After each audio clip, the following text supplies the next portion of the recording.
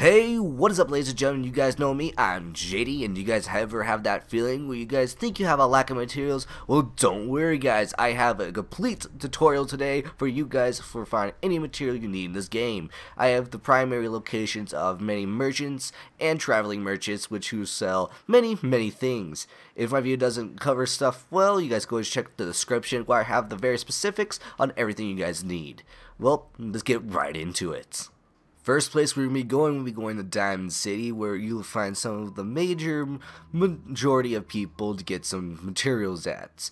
Is uh, If you guys do not know where Diamond City is, I'll be surprised if you don't. It's just south um, east of um, Vault 11, all the way over here. Okay guys, once you guys get here to Diamond City, just head down to the market and just take a left over to this area over here. And the first place we'll be checking out would be Moe Cronin. Moe Solomon sells some shipment of cork 25 and shipment of wood for 100. And now just to the right where Moe's is located, we got ourselves, um, what's this guy's name? Arturo. Here, Arturo sells shipment of aluminum for 50, copper for 25, gears for 25, and screws for 25. And just from across where Arturo is, you'll find Mrs. Myrna. Here, Myrna will be selling shipment of adhesive, ceramics, fertilizer, plastic, springs, and steel. Enter our next location, we'll heading over to Vault 81. If you guys don't know where that is, that is just west of Diamond City across the pond. Once you're here at Vault 81, just follow the path and just go to the very back to where the elevator is located and just take it down to where the common areas where all the residents are located. Once down here, you just want to head out and just go over to the right and you will find our next vendor and her name is Alexis. And Alexis is selling shipment of nuclear materials for 25. Our next location is going to be Abernathy Farms, which is just located south of Red Rockets gas station and sanctuary. Once here at Abernathy Farms, you want to look for the person called Connie. I think Connie be probably located inside like usual. Nope, that's Lucy. And here's Connie, the ones usually wearing what you could say this is a military suit.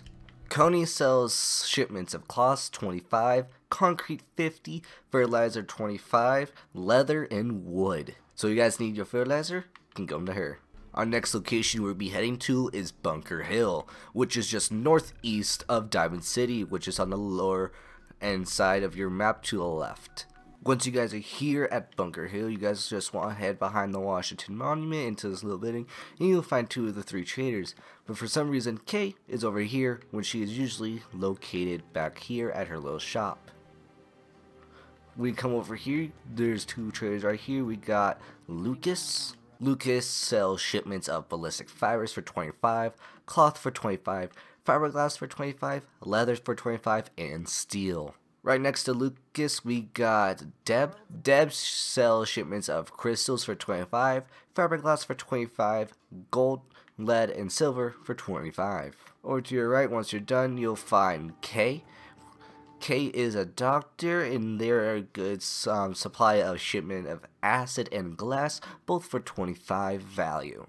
Finally, once we're done with all these permanent trading locations, there are still more shops you guys could probably go to, but these guys are the main ones you guys should probably go to. They have the most supplies and the most guaranteed ones I know of at the moment.